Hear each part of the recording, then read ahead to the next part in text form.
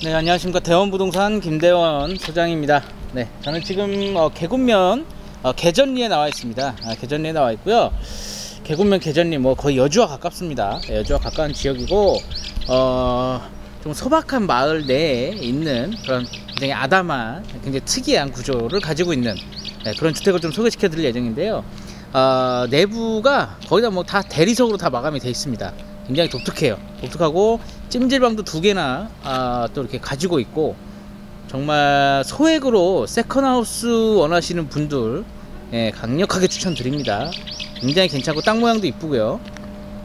자 일단은 어, 어, 설명드리기 전에 주변 환경 먼저 한번 보도록 하겠습니다. 주변에 이렇게 항공사진으로 보시면 어, 일단 쭉 보시면 뭐 굉장히 소박한 조그만 마을 내에 입지했다 이렇게 보시면 될 것 같고요. 어, 주변 이제 편의 시설 같은 경우는 저 여주 천서리 쪽으로 좀 어, 이동 이용하시면 될 것 같아요. 차량 뭐 한 10분 이내 거리. 개군 면소재지도 10분 조금 더 걸리는 것 같더라고요. 한 10분 15분 정도면은 이용이 가능하고요. 어, 일단 주변에 뭐 이렇게 어, 자연 친화적인 어떤 그런 환경은 아닙니다만 어, 소액으로 정말 나만의 놀이터 하나 필요하신 분들 너무나 좋을 것 같고 조금만 돈 조금만 들이시면 어, 굉장히 좋은 아이들 충분히 뛰놀 수 있는 그런 놀이터 정도는 만들 수 있지 않을까 생각이 듭니다. 네, 본 매물 그러면 바로 어, 외관하고 내부 또 한번 쭉 둘러보도록 하겠습니다. 네, 본 매물 지금 우측에 예, 지금 보시면 시멘트 벽돌로 담장을 이렇게 만들어 놓은 바로 요 주택 되겠고요. 어, 우선은 진입로 보시면 어, 전반적으로 지형은 평탄지로 조성이 되어 있고 이렇게 아스콘 포장된 도로로 이렇게 진입을 하시면 됩니다. 2차선 도로에서 굉장히 가깝고요. 어, 굉장히 가까워요. 이렇게 쭉 그냥 진입하시면 돼요. 어, 지금 현재는 좌측 공터에 이렇게 좀 주차를 해놓은 어, 상태인데 내 마당에 직접 어, 주차도 전용 주차장도 마련이 되어 있습니다. 그 부분 보시면 네, 바로 이 철제로 만들어져 있는 이 부분이 이제 예, 슬라이딩 방식으로 대문이 되어 있고요. 이렇게 보시면 자, 이걸 밀면 됩니다. 이쪽으로. 네, 이렇게 밀면 움직이기 때문에 미시고 이 안쪽에 지금 벽돌로 이렇게 포장되어 있는 이 부분에 주차하시면 되고요. 전용 주차장이 있다. 이렇게 보시면 되고 자, 우측에 이렇게 뭐 어, 각종 화분하고 화단 이렇게 좀 꾸며 놓으셨고요. 이렇게 돼 있고 정면에 저 화로도 하나 있죠. 아궁이도 직접 만드신 것 같고 그리고 좌측에 보면은 이제 뭐 조형물이라든가 여기 팔각정도 보시면 다 대리석으로 마감이 어, 돼 있습니다. 저는 또 이거 뭐 대리석으로 된 팔각정은 진짜 처음 봅니다. 또 모기장 다 쳐 놓으셨고 여기서 여름이 여름에 이제 오셔가지고 뭐 수박 한 쪼가리 이렇게 가족들하고 나눠 드시면 아, 너무나 좋은 공간이 될 것 같아요. 이렇게 올리시면 되고 요걸 어떻게 어떻게 다 대리석으로 마감을 했는지 모르겠습니다.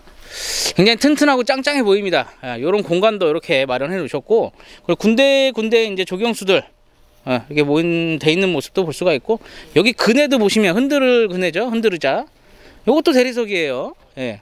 각 파이프로 이제 뭐 해가지고 다 마감은 대리석으로 이렇게 마감을 하신 것 같고요 저 뒤쪽에 이제 나무가 식재되어 있는 부분 어, 보시면은 뭐 여러 가지 나무들이 있는데 여기 보시면은 예, 온나무, 예, 온나무, 이게 뭐 가시오가피, 매실, 뭐 이렇게 다양한 과실수들과 나무들로 이렇게 또 어, 화단을 조성해 놓은 부분도 이렇게 보실 수가 있습니다. 그리고 정면의 주택 이렇게 보시면 굉장히 독특합니다. 일단 전체적으로 외장과 내장 모두 다 아, 대리석 마감이 되어 있다 이렇게 보시면 될 것 같고요. 그리고 우측에 이 부분이 또 이제 찜질방으로 활용하고 있는 부분인데 이 부분도 찜질방이 안에 총 창고 있는 부분까지 해서 두 군데나 찜질방을 보유하고 있고 우측에 한 다섯 줄 정도의 이제 텃밭이 이렇게 예, 뭐 이 정도면 충분하실 겁니다. 예, 이 정도면 충분하실 거예요. 모든 게 굉장히 다 아, 깔끔하게 돼 있고 어, 좀 시골 마을에 있는 주택 치고는 크게 손볼 부분이 없을 것 같습니다. 그건 오셔서 확인하시면 될 것 같고요. 자, 우측에 있는 찜질방부터 한번 보실게요.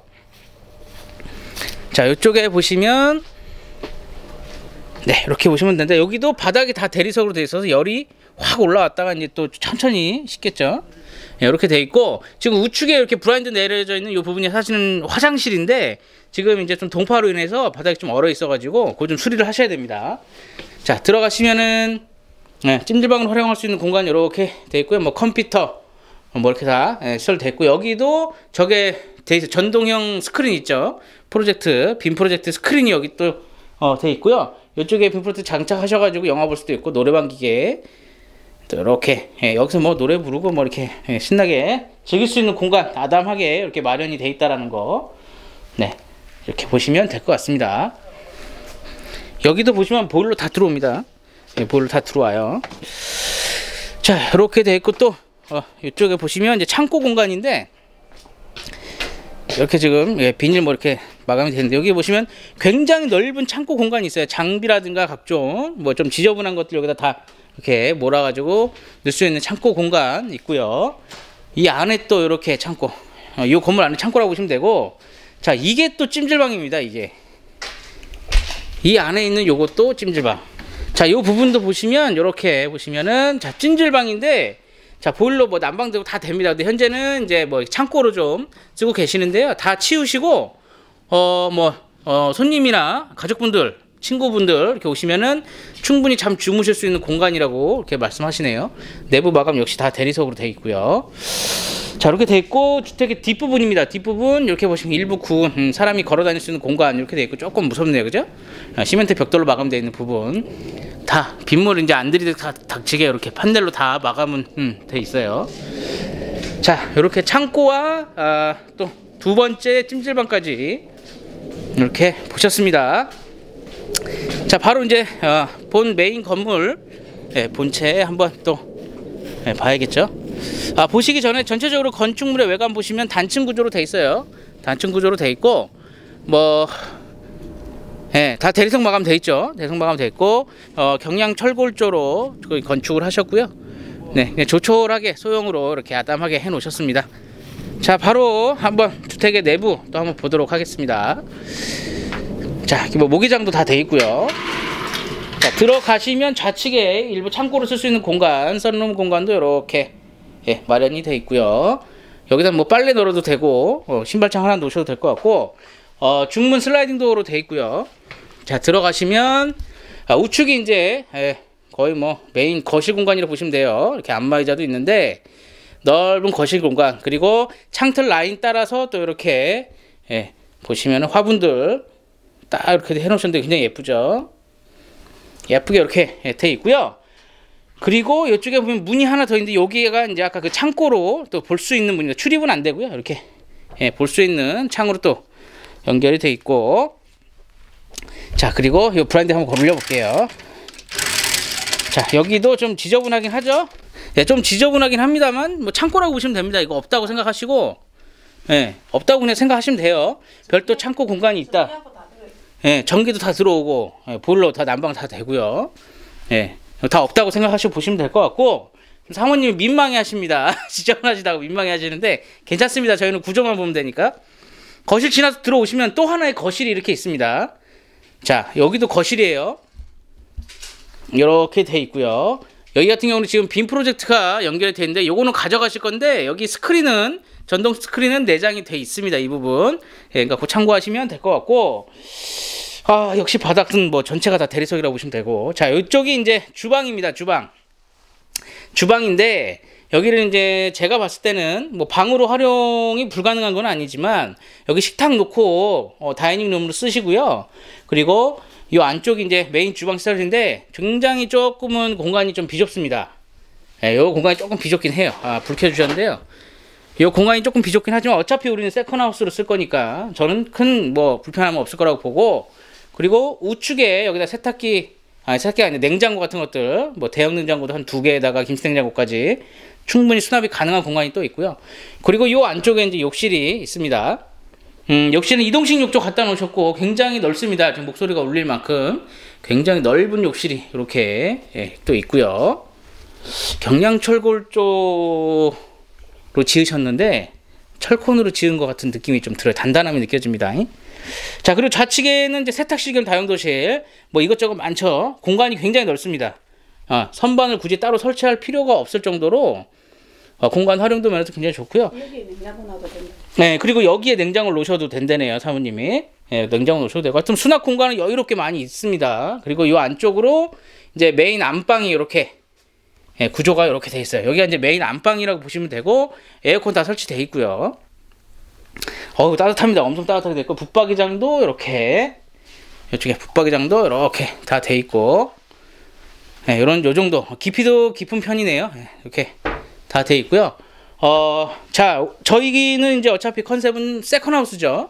주말용 세컨하우스를 저는 강력하게 추천을 드리고 땅 모양도 정방향 토지로 굉장히 예쁘게 자리 잡고 있고 아이들 뛰어놀기 굉장히 좋을 것 같습니다. 예, 여기서도 이렇게 보면 마당이 생각보다 굉장히 넓고요. 어, 수영장 같은 거 하나 이렇게 또 놔둘 수 있을 정도의 면적 충분히 나오고 뭐 텃밭 필요 없으면 다 밀어버리면 되고요. 예, 공간이 굉장히 넓다 이렇게 좀 말씀드릴 수 있을 것 같네요. 네, 오늘 어, 소개시켜드렸던 예, 그 개군면 개전리에 소재하는 예, 그런 좀 굉장히 소액으로 접근할 수 있는 아담한 전원주택, 예, 전원주택이 하긴 좀 그렇고 예, 농가주택, 구옥주택이라고 말씀드릴 수 있을 것 같고요. 어, 오랜만에 예, 좀 원석을 발견한 듯한 느낌입니다. 물론 많이 지저분하고 뭔가 짐도 많고 막 이런데 싹 정리하면은 정말 괜찮을 것 같아요. 정말 놀이터 웬만한 놀이터보다는 나을 것 같습니다. 물론 주변 환경이 자연 친화적이지는 않습니다. 예, 그런 부분은 뭐 좀 그렇긴 한데요. 그래도 오셔가지고 어, 지인분들 오셔서 어, 이렇게 고기도 구워 드시고 좋은 시간 보내기에는 예, 괜찮은 것 같습니다. 제가 봤을 땐. 그리고 주변에 일단 혐오 시설이 뭐 없습니다. 없고요. 전방 한 340m에서 한 400m 정도의 축사가 두 군데 있어요. 있는데 어, 영향은 전혀 없, 없는 것 같습니다. 제가 현장 와 보니까 육안으로 보이지도 않고 어, 그런 부분 뭐 철탑은 당연히 없고요. 네, 뭐 그렇습니다. 아, 편안한 평탄지에 예, 이렇게 좀 입지해 있고 조그만 마을이어서 어, 뭐 이렇게 뭐 크게 뭐 부닥치거나 부닥치거나 원주민 분들하고 그런 부분도 없다고 하시니까 한 번쯤 도전해 보시는 거 어떨까 싶습니다. 아, 너무 괜찮습니다. 예, 제가 봤을 때 너무 괜찮. 가격대도 너무 괜찮고요. 예, 여러모로 장점이 많은 그런 주택이지 않았나 좀 생각이 듭니다. 네, 그럼 저는 또 다음 매물 촬영 때 찾아뵙기로 하고 아, 이제 날이 좀 풀리고 하니까 문의가 엄청나게 많은데요. 제가 몸이 하나라 아, 다 100% 이렇게 좀 상담이라든가 답사 못 해 드리는 점 좀 너무 죄송하게 생각을 하는데 너무 좀 힘들긴 합니다. 예, 저도 몸이 하나다 보니 예, 어쨌든 그런 부분 좀 양해 부탁드리고요. 예, 또 좀 많이 또 좀 봐주시고 어, 연락 어쨌든 제가 최대한 할 수 있는 만큼 할 테니까 연락 주시면 예, 이렇게 또 답사나 상담 이렇게 해드리도록 하겠습니다. 항상 감사드리고 또 건강하시고 어, 저는 또 다음 매물 촬영 때 찾아뵙도록 하겠습니다. 감사합니다.